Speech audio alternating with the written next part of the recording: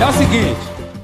A decisão que eu tomei é muito difícil. Mas o que me deixa confortável é que a, que a decisão que eu tomei não envolve dinheiro, não envolve é, aquela coisa de tudo tem que ser só meu. Envolve é que eu sou um cara que eu, que eu quero sempre alcançar uma coisa que eu acho que, que falta. Eu quero mostrar, porque tem muita gente que não conhece o Xande de Pilares. Por que, que é Xande de Pilares? Por que, que você transforma MPB em samba? Eu quero que essas pessoas saibam o que, que é, como a minha mãe me influenciou, como os meus avós me, influenciaram.